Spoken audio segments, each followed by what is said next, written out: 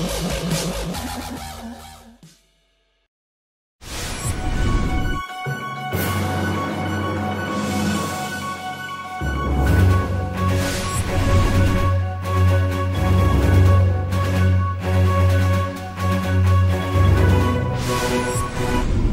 morning, you are watching Sleepy Eye Pride News. I am Brooke and today is Thursday, December 3rd. The week is here and gone already. We better get those lunch choices before that flies by too. Jade? Today's lunch choices will be Choice 1, rotini with meat sauce. Choice 2, PB&J sandwich. Mmm, I am liking the sounds of that. At least lunch can be the highlight of our day because the weather sure hasn't been Natalie, fill us in. Today we can expect mostly sunny skies with a 0% chance of precipitation. That means no snow. Thank goodness. The temps will warm up as well with a high of 42 degrees. I am liking that news. Get out there and enjoy it. It's not often it's that warm in December.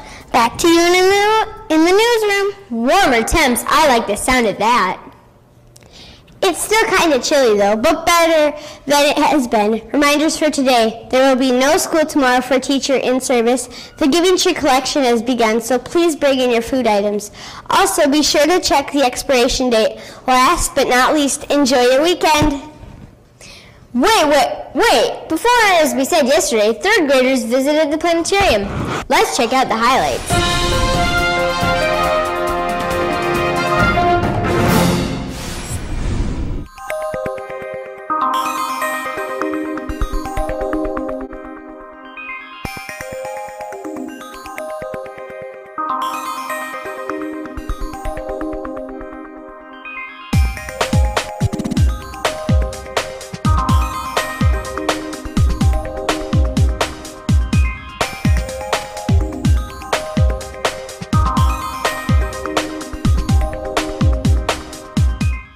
Looks like they had a great time, and I know I'm going to have a great time this weekend, so let's get on with it. That does it for this week's broadcast. I'm Brooke.